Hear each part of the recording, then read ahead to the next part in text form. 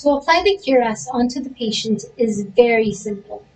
The very first thing that you would need to do is to choose the correct shell size for the patient. We have 12 different shell sizes available, ranging from size 0 to size 10.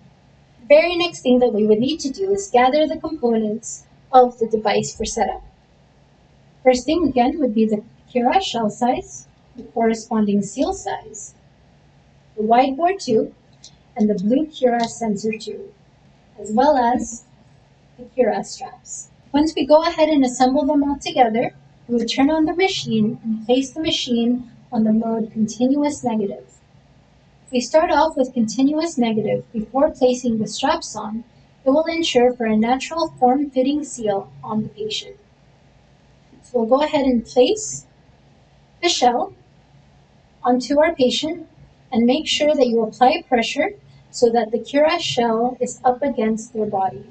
Once we press start, we would wait for the machine to pressurize to the set pressure that we went ahead and placed.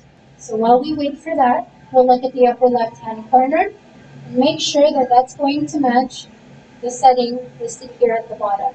So it says here we place it at negative 15 and the inspiratory pressure now reads negative 15.3.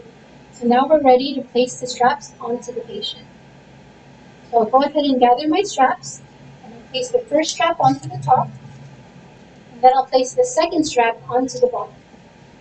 Once we do that, we can go ahead and press stop and then we can advance to the other three basic support modes on the BCV or the timed airway treatment modality.